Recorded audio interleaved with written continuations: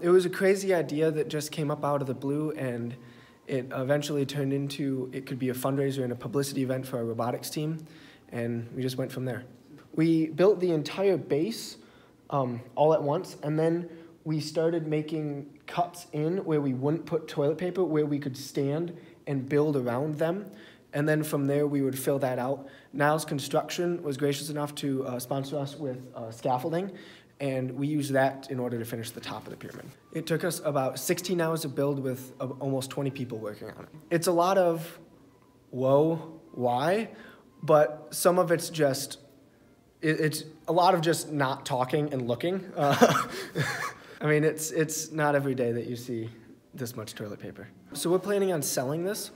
Uh, so people can buy rolls for themselves or they can donate money and we will uh, give the rolls that that would purchase to families in need in the community. Um, well, toilet paper doesn't go bad, so we'll sell it eventually.